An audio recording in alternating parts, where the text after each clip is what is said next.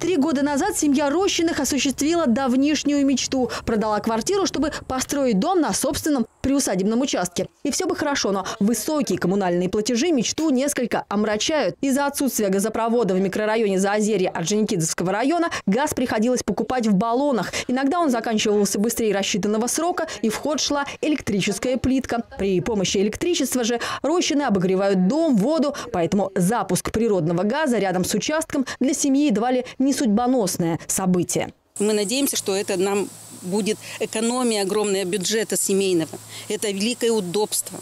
Вот видите, газ есть. Губернатор Пермского края Максим Решетников в прошлом году поставил задачу серьезно увеличить темпы газификации в отдаленных районах города, чтобы 21 век наступил наконец и здесь. Департамент ЖКХ администрации Перми ведет плановую работу по вводу в эксплуатацию и пуску газа в 11 газопроводах, где ранее работы были приостановлены.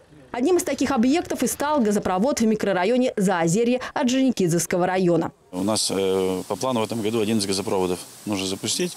Последней осенью будем пускать вторую очередь Верхняя Васильевка, это в Голованово.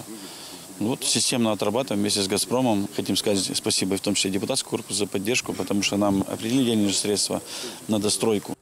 Часть жителей Заозерья Орджоникидзевского района – многодетные семьи. Здесь государство выделило им землю под строительство. Теперь к новому магистральному газопроводу могут подключиться и жители 56 домов, проживающих на улице «Вторая катерная». Две преференции должны сделать эту процедуру максимально удобной. Во-первых, газовая труба должна быть доведена до фасада здания, а во-вторых, предусмотрена компенсация социально незащищенным слоям населения.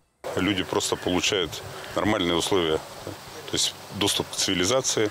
То есть это и удобство газ, и это и, в общем-то, экономия средств на отопление. Есть участки для многодетных на другой стороне. Это ну, первый шаг, за которым последуют остальные. В конце июня газ был запущен в микрорайоне Третий Увал Орджоникидзевского района, в августе в микрорайонах Малые реки и Кислотные дачи. Осенью к числу счастливчиков должны присоединиться жители частного сектора микрорайона Висим и ряда других районов.